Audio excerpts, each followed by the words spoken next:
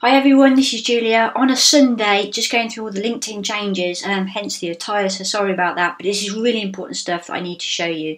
Uh, I need to do it as well before my LinkedIn changes over, which I'm sure is going to be next week. Um, so basically, we've got the brand new LinkedIn profile on desktop, which is an absolute nightmare. They've taken loads of key features away um, and they've not really added much apart from it looking a little bit more swanky and it looks uh, a little bit like the, the app. So if you're used to using the app, then you'll you'll like this the layout of it. But when it comes to features, you know, unless you're paying for LinkedIn now, you know, there's some th- key things that have been taken away. I have got some loopholes which I can show you how to um, use these extra functions which I'll prompt you as I go through but these are the main things I wanted to show you the main changes today and where things are because I've also changed things and things are in different places Okay, okay. So the first thing I wanted to go is tips on posting, you know, an activity update. So just doing your status update. So um, over here is how you would normally do it. So if I just go onto home, okay, and then just doing a normal status update. This is where I would do it normally. I would go share a status update. Um, I can add a photo just here, and I just type whatever, and then I would click share. Ta-da! Nice and easy. Um, on the new version Okay, if you, you, I would always recommend clicking home, but it's just right here, so it is gains quite easy. And if you wanted to add an article to publisher or Pulse, then this is where you do it. Um, I couldn't find anywhere else to add it. But if you go to write a status update and then you think, oh no, I, I needed to add a, an article, it, it disappears. So just click home and you can go back there to writing an article. Okay, so that's how you do it. So adding an article there, goes into your LinkedIn Pulse. Or you can just put in that URL, so linkedin.com slash post slash new, uh, and you can add your article there with your headline and everything else. Okay. The other thing I wanted to show you, I'm going to blur this out, is the size of your LinkedIn header has now changed. It's a lot thinner. Um, in actual fact, it's quite e- it's a lot easier now because it's exactly the same size as the company page information. So that's a, another change. I'll put in the notes below or in the article that I'm going to put the the um, guaranteed or the the size that we would recommend. We've actually played with quite a lot of different sizes, so I'll show you the one that works for us. The size that LinkedIn optimise it for, it doesn't actually work, so we're going to put that through and I'll put those down later. Okay, so that was the first thing I wanted to show you. The second thing that I wanted to show you guys, yes, is finding out, um, you know, if you, especially for recruitment, or you're going to interview a candidate, um, or you just want to check what someone's latest activity is. What you used to do is, say, if I go onto mine, say if I'm going to go onto James Saker, okay, to find out what his recent activity is going to be, what I used to do is just click that little arrow there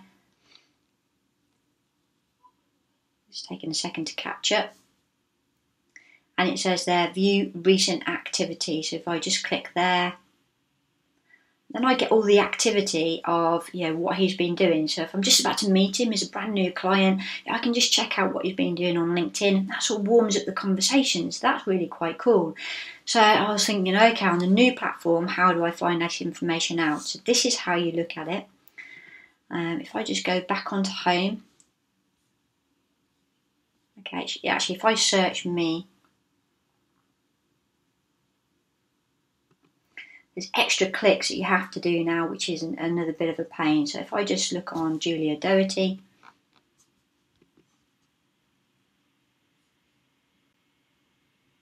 okay, and I want to find out the latest activity for Julia Doherty, then I can do that um, just by here, post an activity and I go see all activity.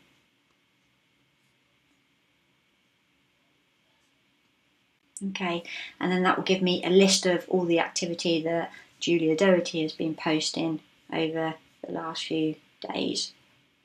And it will just go on forever. So that gives me all of my activity. But rather than just instantly seeing it, there's a few different hoops there that you have to jump and over. Okay, um, so if I just go back to home, this is really strange because I'm in as uh, somebody else, but it's giving, showing me all my stuff, so I'm not really sure what's happening there. I think it obviously wants me to. It doesn't like it because I'm in on both on here. So if I just go into let's try this one. So Michael Disig. I don't know how you pronounce that one. Okay, so I want to find out what he's been doing. Michael's activity, see all activity. Okay, and then I get that information up here. Okay, right, what else has been going on? Let's go back onto my LinkedIn changes.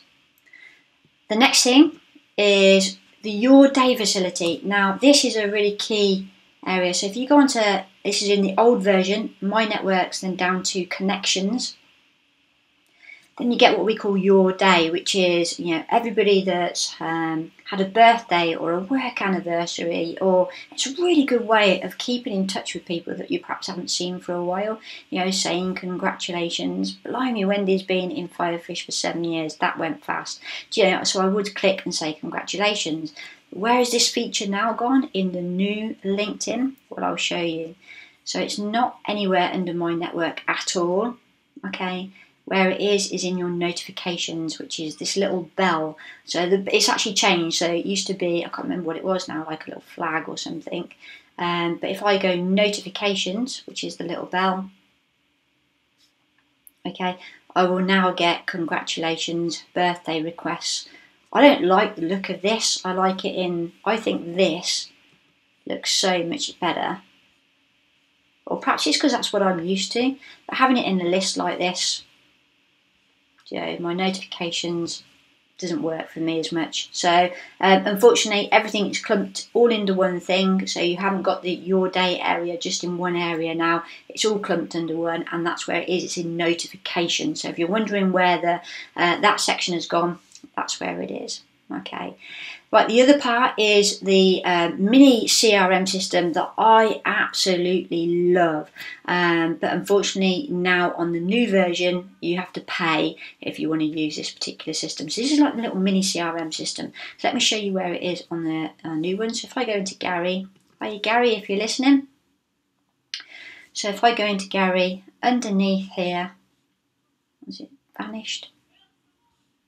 Okay, we have what we call the relationship area, and this is private information just for me only. So I can add my little notes, blah blah blah blah. I can add reminders. So if I want to say, you know, it's like a sales call. Uh, so if I put customer service call, uh, so check in in a month's time or every three months or every six months, then I get an email to say, don't forget to call Gary um, in three months' time. And that's a great little function, especially if you, you've done a quote and you want to check them up ne- uh, check up with them next week, or perhaps you know you've done you've placed somebody or something like that, and then you want to uh, check up to see how they're getting on in a month's time or whatever. You know, the reminder function is really quite cool as is like the tagging, so you can tag certain people into a group. So tab it, tagging in this um, is not like tagging someone in a post, it just means like grouping people together. But this is all gone. And so if you want this feature, then you have to upgrade uh, to the next level up, which is, I think it's $79 a month if you want that particular feature, as well as some other bits within LinkedIn. So boo for LinkedIn, I think that is really naff. Okay, so what I do is I actually pay for a different service which does loads of other stuff, uh, which I'm not going to go into now, but it's called Dux-Soup um, and it's a little plugin.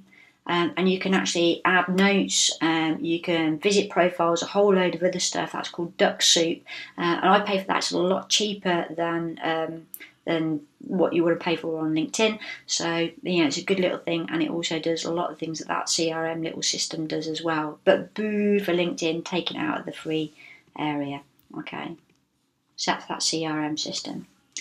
The other thing is the advanced search. Now, I don't know if this is just something you just need to get used to, um, but you know, we used to have this little button up here to uh, do an advanced search.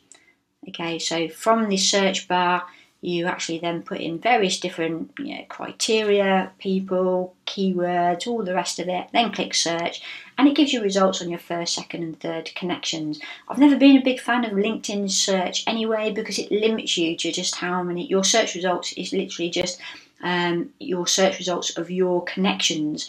So, you know, if you're only connected to 200 people, you only get so many people come up in the search results. Where if you're connected to 2,000 people, you get a lot more for exactly the same search.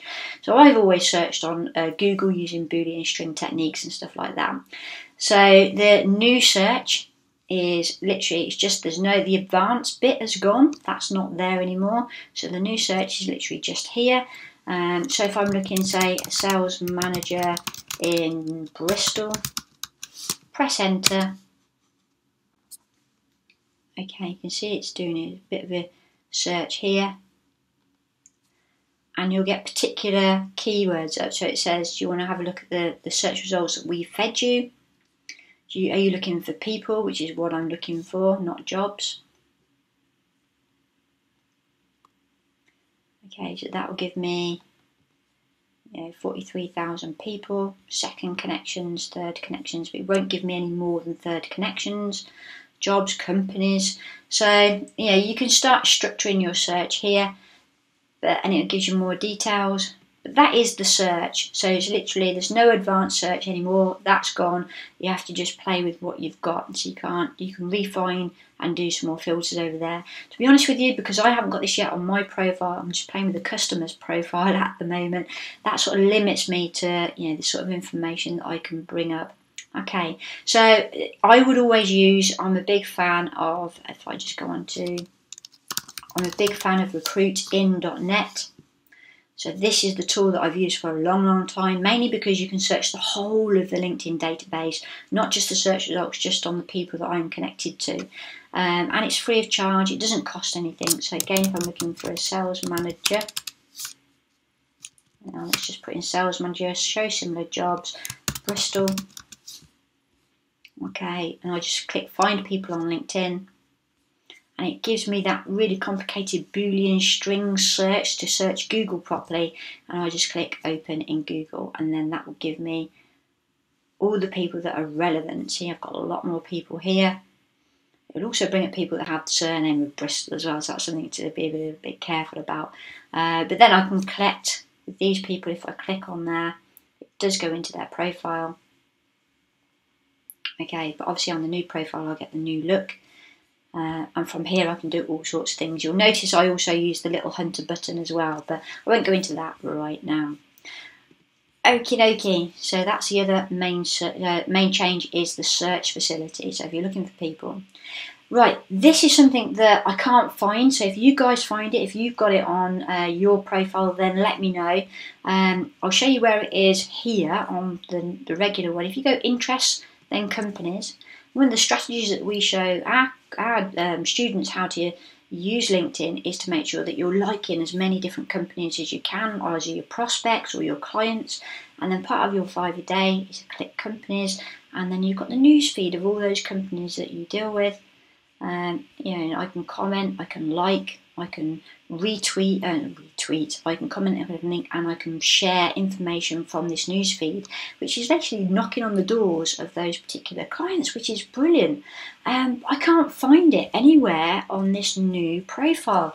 I've looked all over the place. So if you guys can find it, then please let me know because I'm desperate to find out. And if you you just got here companies Okay, but that's just searching companies. You can't find the search feed of the companies that you already like. So if you find it, let me know. That'd be cool.